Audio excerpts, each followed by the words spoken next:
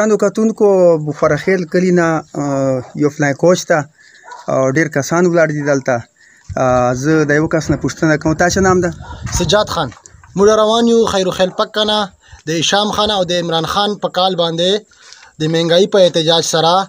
د ارشاد خیروخیل په نگرانی سره موږ هغه بخیل ته روان یو د عمران خان آیا شام په کال باندې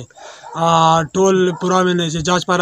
د مهنګايي خلاف پورا پورا واز چې کو سخت تنګسلی له مهنګايي نه ارشاد خان خیروخیل په نگرانی سره یو سره روان یو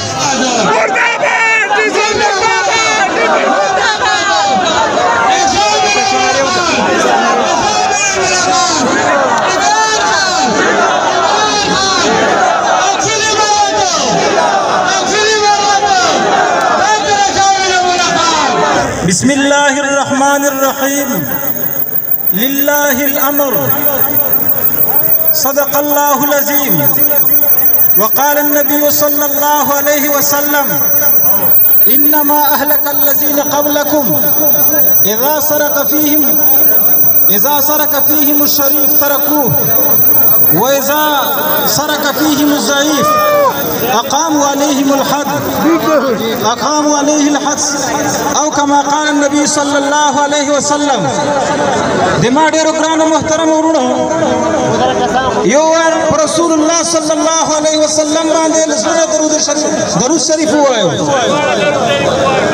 د ما ډیرو ګرانو محترم ورونو لږ متوجه غواړم د تاسو مختما دی قران پاک یو جمله ویلا دغه جمله ما نه دادا لله الامر امر او حکم به صرف الله دی د ما ډیرو ګرانو محترم ورونو نن ډیر هغه خلک چې جان ته پوي وایي په قران باندې دا ولري لیکن په ځای د دې چې دوی د الله حکم نافذ کړي هغه دوی په دې باندې لګیا دي چې د قران پاک حکم په مقابله شي خپل حکم په خلکو باندې نافذول غواړي د ما ګرانو محترم ورونو تاسو مخ چلیدل مهنګای مکاو مارچونه کېدل لیکن نن مهنګای لږه نه زیاته ده خو دغه خلکو خلی ورغلي دي تاسو ته پته ده نو د ما ډیرو ګرانو محترم ورونو آلته د مهنګای خلاف ناره کېدې نن لږه نه مهنګای زیاته ده دا خلک ولې چپ دي رسول الله فرمای صلی الله علیه وسلم تاسو نه مخ چې خلک په دې باندې هلاک سره چې کله شریف سړی غلا وکړه دوه به پرې شو او کله به چې غریب سړی هغه غلا وکړه اکام والی دوی په هغه باندې حق قائم کړ کله چې په یو قوم چې دا کیسه راشي چې د شریف ا د ملګری خیال ساتل شي هغه باندې هغه حکم دی الله نسی نافذ او یک مقابله چې نر وځي او کله چې یو داسې کسي چې دا دې دغه کو دغه خلکو دغه کیسو لوجه د مخشینی قومونه رسول الله فرمایي هلاک شوی دي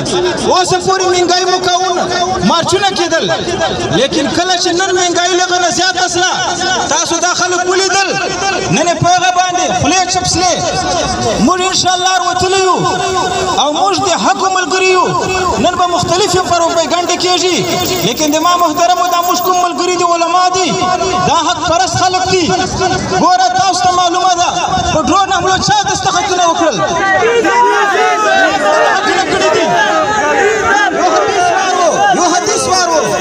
رسول الله فرمای صلی الله علیه وسلم لهدم الكعبه اهون على الله من قتل مسلم ګوره د کعبه رنګېدل دا الله خواته الک دي له قتل د مسلمان نه نن په زراو مسلمانان دغه ډرون حملو چې شهیدان سره په دې چا د سختونه کړې دي اپیل کوم چې د ما محترم رئیس د مسلمان قتل چور ګناه ده او تاسو ولیدل چې کوم خلکو دې ډرون په حمایت چې دستخطونه کړي دي امریکای حمایت او دیغه ته اجازه ورکړه دي د قتل د مسلمانانو لږ جان بایدار په علماو نه اپیل کو چې تاسو داسې سړي حمایت څرنګه کو چې د مسلمانانو په قتل باندې دستخطونه کړي ان شاء الله موږ دغه ملګری دا به موږ د حق ملګری یو او په حق باندې به ان شاء الله ولاړو نن به خلک شکنجا کوي لګیا به وي خو د ما محترم یو کیسه تاسو ته کوم تاسو موږ ټول مسلمانان وروڼه یو یو تر بل ادب وساتو په وجه باندې به ان شاء الله روانو یو مسلمانان وروڼه یو نفرتونه به ختمو وژلتونه به پیدا کو ان شاء الله د تخوم فائداري به پیدا کو او د دغه خلکو غلامي نه به خاص خلاصو واخر دعوانا الحمد لله رب العالمین ټول چې دا چوک راغلي دي که چوک لیغه راغلي دي کله دغه چې دا چور لره راغلي دي ټول ټول خلکو ګوره شکریا ادا کوو چې دوی شام خان په وکال باندې په تور شپه باندې اتل جیتا جان ورساو تاسو ډیره شکریا ادا کو نو مولا مین پین خبره دا ده چې کوم صوبایي اعلی کې عادت ته پی ټی آی و نو دا دا دا ټول خلکو دا ورته مطالبه ده چې دا چې مراعات پی ټی آی والا کی مروت چې هشام خان په وساقت ته تقسیمایي که هشام خان پی ټی آی چې و خو بیا د کی مروت پی ټی آی ده که هشام خان پی ټی آی چې نه و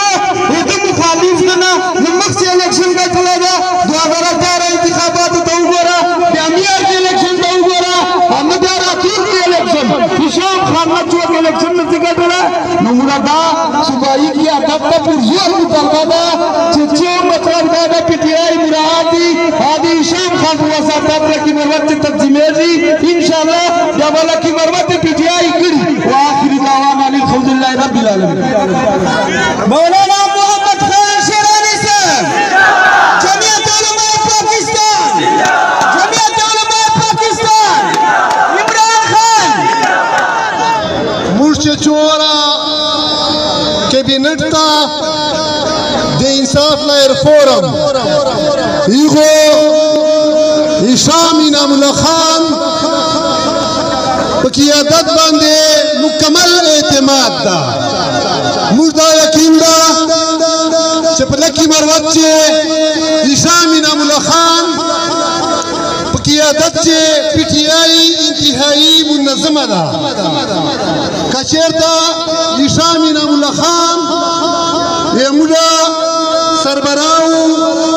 نو موږ دا یقین ده چې موږ به محمود خان ته قومي سیټ او سره ورسره څلور سره صوبایي سیټونه ان شاء الله ورکوو ټول خلکو ته د لکي مروت خلکو ته د پیغام ورکوو د بي ډي اف وساطت سره چې دو د هشام انعام الله خان په سربراهي چې متحد سي او د پي ټي آی پلیټ فارم سره دی مکمل اعتماد سره پیش شي چې موږ نور قومونو ته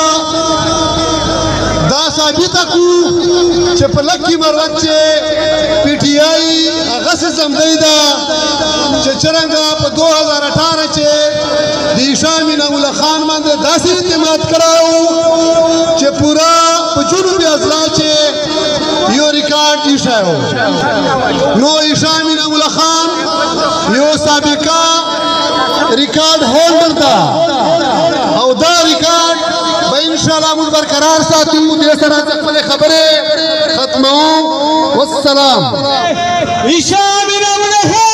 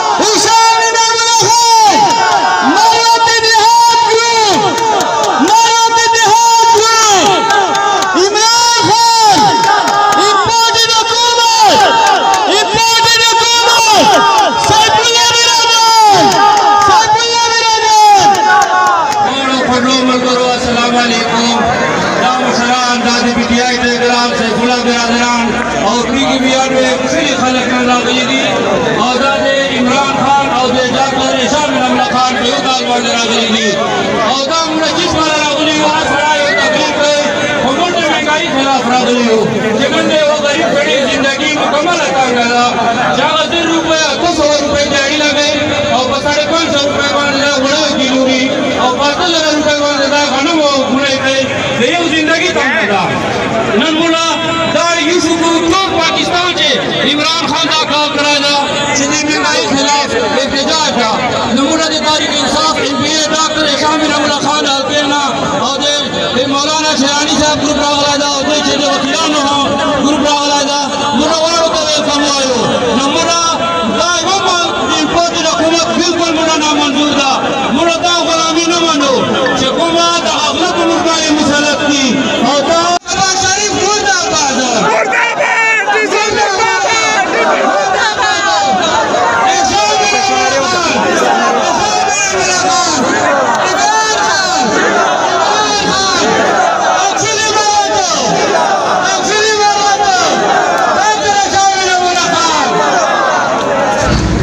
احتجاج ته وروتلي یو تر دوره پورې موږ دا روډونه نه پرېږدو چې وروره لا دا کوم موجوده حکومت لا دا نه ختم سلای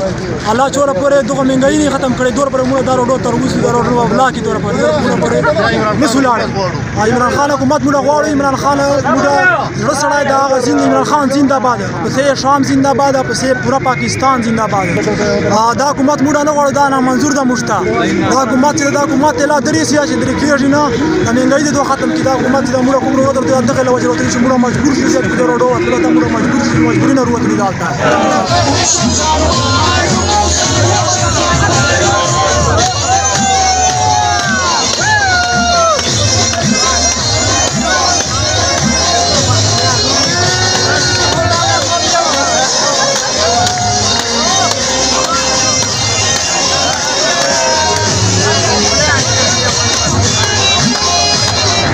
موږ دغه خلاف احتجاج کړای دا د امپورټډ حکومت خلاف او ته وګوره چې مخکې دا حکومت څنګه چالي ده او اوس دا بیا څنګه چلیږي یعنی مطلب دا چې څنګه په 15 دن چې نن نن 115 روپۍ خو دوه صرف ډیزل ګران کړل نو دې لپاره موږ مطلب د پیسام خان پاغه چې موږ وروتلی یو دیغه په کال سره موږ وروتلی یو د عمران خان د حسام خان په کال باندې د دې حکومت خلاف ور وتلی یو دا موږ غواړو چې یاره زر نه زر پورې د الیکشن وسی